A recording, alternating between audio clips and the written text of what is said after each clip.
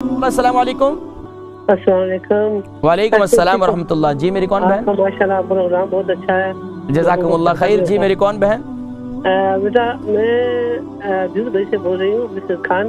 جی۔ تو blood pressure کے بارے میں پوچھنا ہے۔ میرا بلڈ پریشر بہت ہائی رہتا ہے۔ کتنی عمر ہے آپ کی؟ جی sixty three blood pressure high رہتا ہے۔ بہت ہائی رہتا ہے۔ ٹھیک ہے۔ پروگرام دیکھیں میں ذکر کرتا ہوں۔ بہت شکریہ جزاکم اللہ۔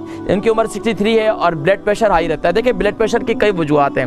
اگر بلڈ پریشر وجوہات کی طرف جاؤں گا تو بہت آگے نکل جاؤں گا۔ حل کی طرف آتا ہوں۔ بلڈ پریشر کا حل یہی ہے، دارچینی کا اور انجیر کا کعوہ بنائے۔ دارچینی ڈال دیں اور اس میں جو ہے انجیر ڈال دیں دو۔ اس کو ابالیں اچھی طریقے سے یعنی کہ تین کپ پانی ڈالیں اور ایک کپ پانی رہ جائے، اس کو اچھی طرح ابال کے اب اس سے جو ہے اس میں اس کو پئیں انشاءاللہ شاء اللہ ٹھیک ہو جائے گا۔